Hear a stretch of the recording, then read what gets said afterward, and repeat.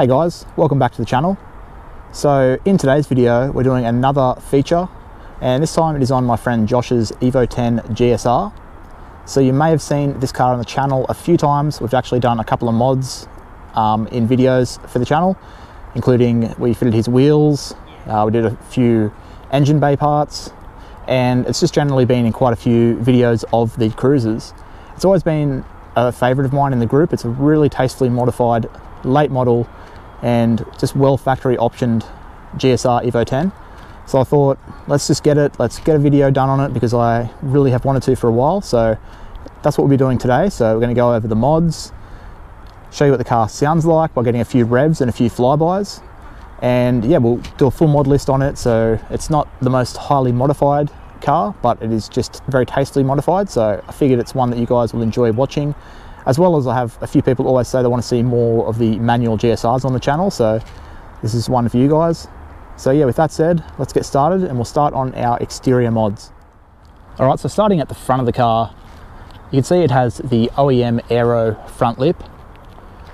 Now this was something I actually filmed a video on fitting on this car, so if you want to see that, there'll be a link in the description. But yeah, it really adds a lot to the front end. Um, and he also has a custom made front splitter to suit the OEM lip. So you can see it actually has been designed for this particular front lip and it flows really well. He also has the red pinstriping, which goes well with the sort of red theme the car has. Um, also have his custom number plates. We have the red front badge and the GSR badge. Um, I really do like those touches, that looks really nice. Also being the GSR, just a small thing, it usually has a cover here. So not normally open mesh like on the other side for the fog light. Uh, this is actually off my car, so we did put this onto his car, which it, if I show you the other side, you'll see, so they're both open. Normally just this side is open and that side is blocked off. So it's also added that little feature. Coming around to the side, we have some carbon fiber mirror covers. We have the Varis style carbon fiber side vents, as well as Flow Designs side skirt splitter and some Ralliart mud flaps and kept the red pinstripe going all the way around the car. Uh, also have the carbon fiber pillar covers. And if we come around to the back of the car, have some more carbon fiber, and this time it is from Rexpeed with these rear gurney flaps, I believe they're called. I also kept the red pinstripe, and we have the Ralliart mud flaps have a carbon fiber cover for the end plates on the wing. It's got the red rear badge also. So not overly modified on the exterior, but Josh's goal for the car was just to, it is a late model, so I'm not sure if I said it is a 2013 MY14 Evo 10 GSR, so it's towards the end of the run. So Josh has got all stock parts at home and he wants to be able to return this car to stock. Doesn't want to do anything that isn't reversible. So yeah, he's kept the car just to his taste and nicely modified. But yeah, not a crazy amount to the exterior, but just enough to make it really look different to the rest and not to look just like a standard Evo. So yeah, it does flow really well together as you can see. But yeah, that is it for the exterior mods. Now we'll move on to the interior. Okay, so as you can see, the car has really nice Recaro half leather seats. Um, and they are heated as well. So late model GSRs seemed to get that, whereas the early model just has the cloth. So yeah, seems to be like a really well um, optioned Evo 10 because it also has the Lancer Evolution um, sill plates. You have the OEM floor mats and then we have an aftermarket shift knob.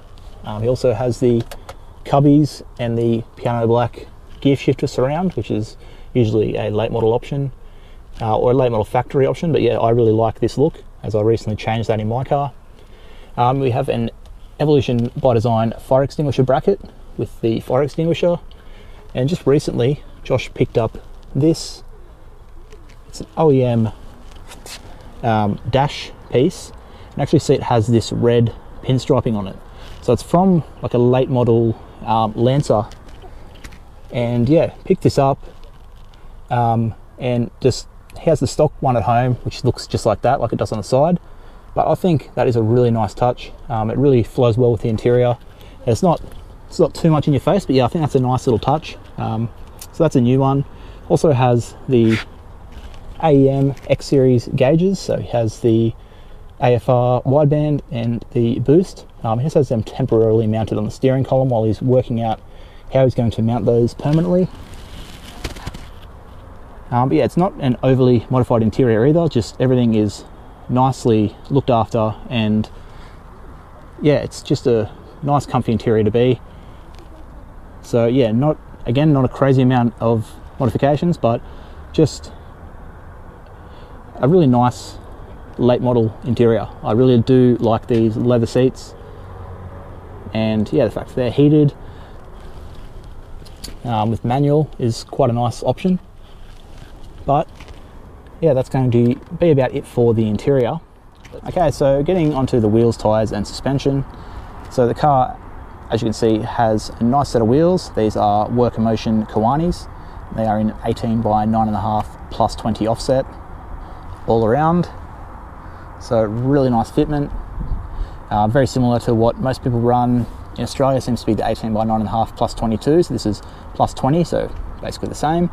Um, then it is running some 265 35 tyres, and they are some Salem R01 tyres, which are very popular here. Um, great tyre for the price. Also has some drilled and slotted rotors, as you can see. And for the suspension, it has MCA Pro Sport coilovers. So it is, which you can get a, probably see there, not too sure, but yeah, nice um, new release from MCA Suspension, which is an Australian suspension company. Um, it makes some really great stuff, and a lot of the cars that I've featured run their suspension. So yeah, it's been given a nice little drop. Um, was on stock suspension for a long time, so the coilovers are pretty new. Um, but yeah, Josh has a bit of a steep driveway, so he couldn't go much lower than this. But yeah, it's at the two finger height at the rear. Um, sits really well, I think. And yeah, he's probably going to add a Whiteline rear sway bar soon, from what I've heard, but hasn't got around to that yet. But the car does handle well and looks great, sitting at a nice ride height. Okay, so moving on to the engine mods. So you can see it's not overly modified engine bay, um, but we do have some really nice touches here. So it's actually been videos on the channel of fitting these red parts and actually one of my really early videos was actually painting this OEM strut bar. Um, but yeah, so yeah, like I said, we have the OEM strut bar. It has been painted red. It's actually painted by me, so uh, that was a fun day. Uh, then we have some upper intercooler piping and blow-off valve piping, which are both aftermarket and are powder coated in flame red. So also a video we did on the channel where I got these powder coated. These are actually my old pieces that I sold to Josh and got powder coated for him. Um, so kind of, he just wanted, again, OEM and easily reversible back to completely stock. So yeah, not too overly modified. So he's kept the plastic engine cover and yeah, he wanted the red to all sort of flow. So um, yeah, it hasn't got crazy modifications in the engine bay. Um, no titanium everywhere like mine, but just nice and custom looking. Okay, so for exhaust, the car has an X-Force Turboback stainless steel system, which is a dual exit at the back. Um, and also has yeah, the high flow cat, uh, the downpipe and the catback system. So all made up together with for a full turboback exhaust system. Um, it has a Turbosmart blow-off valve, which actually I'm sure you guys will, will have heard in the intro, sounds very loud. Um, it sounds great. It's a really nice sounding exhaust system. It's not overly loud, um, but it just makes a nice tone to it. Um, we just have the stock airbox with a high flow panel filter. Um, and yeah, stock intake and everything, just with the aftermarket blow-off valve piping and intercooler piping. Um, it has been tuned and it was actually tuned in Sydney by a previous owner. Josh is looking to get it retuned by AK Racing in the future, but it does make good power just for a conservative tune. So it's only tuned to, I think it's 22 pounds of boost, but it makes 210 kilowatts at the wheels.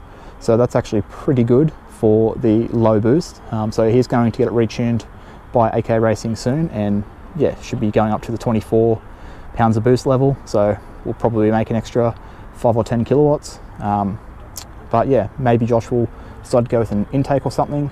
Um, but yeah, we'll have to wait and see. But so that is basically it for the modifications on the car.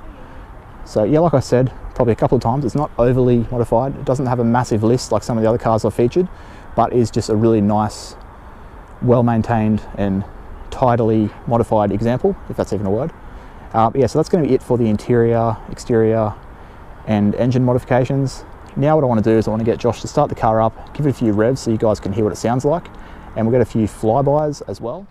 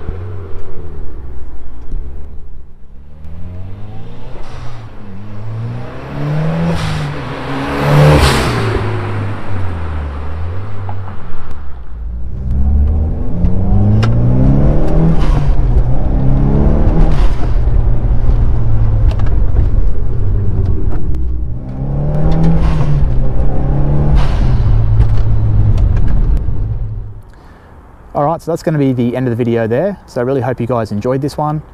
Uh, it's definitely one I've been wanting to film for a while because like I said, this is one of my favorite sort of looking Evo 10s. I know it's not crazy modified, but it's just really got some nice subtle touches to it. So I'll throw Josh's Instagram up on the screen now. Um, definitely make sure you go give him a follow. And yeah, thanks heaps for watching guys. Um, hope you did enjoy it. If you did, definitely make sure you give the video a thumbs up down below. And yeah, let me know, what did you think of this car? Um, let me know in the comments.